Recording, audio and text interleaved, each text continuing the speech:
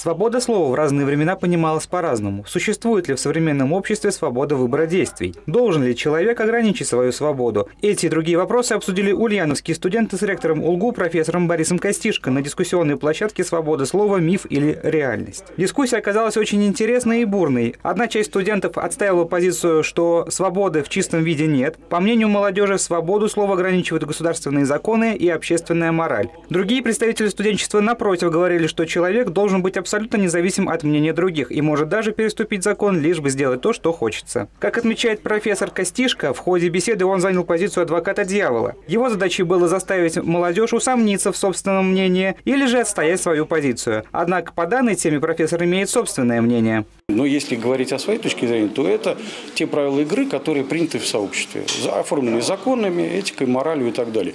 То есть, как таковой свободы слова как ее иногда э, некоторые товарищи понимают, что я имею право делать все, что хочу, и вообще не существует. И она для общества не только вот как бы невозможна, она даже и вредоносна.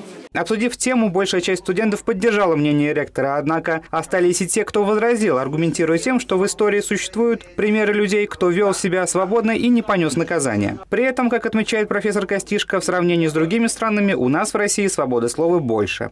Я бы сказал, что даже с перебором свободы слова, если честно, потому что э, иногда в средствах массовой информации такое э, пишут, что, ну, извините, ну, это явно э, противоречит законам Российской Федерации. Подобные дискуссии проходят не впервые. Как отмечает руководство УЛГУ, такие беседы направлены на поиск смыслов и истины. Темы, которые поднимаются на дискуссионных площадках, помогают молодежи получить ответы на самые важные вопросы. Максим Писарев, Артем Куранов, Улправда ТВ.